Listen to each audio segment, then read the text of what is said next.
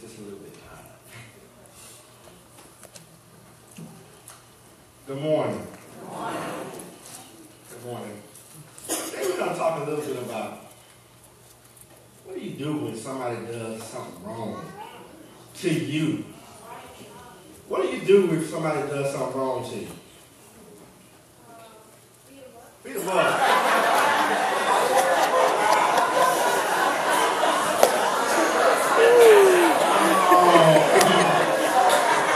Anybody else? Anybody else? Tell them adult, all right. Be nice and just ignore it.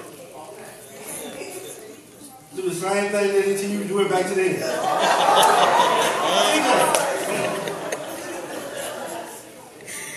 No, we're gonna knock them. all right, all right, all right. So, let me tell y'all how, we're supposed to handle it. When somebody does something wrong to us, I know, I know, I know, we have a tendency to want to beat them up and knock them out and get back with them. But I like what Megan said. Megan said we need to forgive them and go on about our business. We need to go on about our business. I know, I know.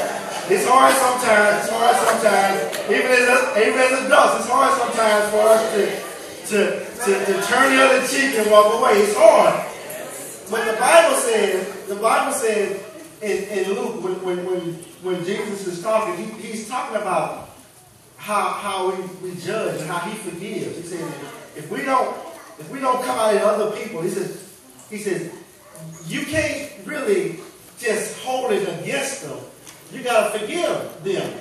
Because in our in our our Father's prayer, he says, forgive our debts as we forgive those, you know, who have trespassed against us. If we forgive, then, then Jesus will forgive.